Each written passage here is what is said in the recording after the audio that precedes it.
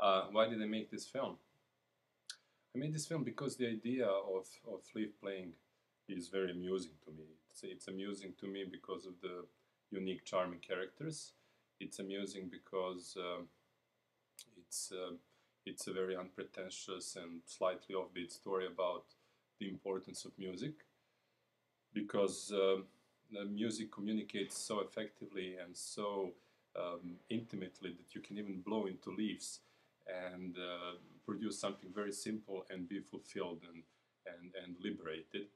Uh, um, and these abstract ways of, of uh, the, the way music communicates are, are such that you as audience can be so, without any effort, transferred into, into another universe.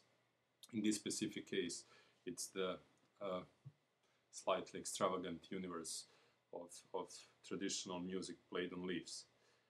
And, uh, it, and it also amuses me as, as an allegory because, uh, because a leaf is um, some kind of, almost like some kind of prototype of, of these uh, extravagant human activities that seem um, unnecessary uh, and, and unimportant uh, and, and, banal, but were always there. And um, from they, they, were there from beginning of times because in their essence they're almost uh, they're almost crucial for, for human existence.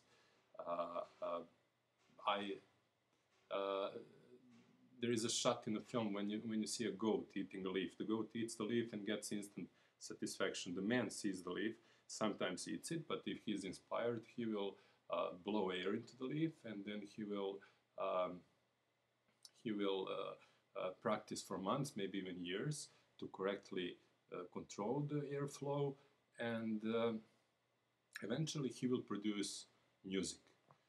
So in a way, uh, this film is about how hard and beautiful it is to be uh, a human, a creative.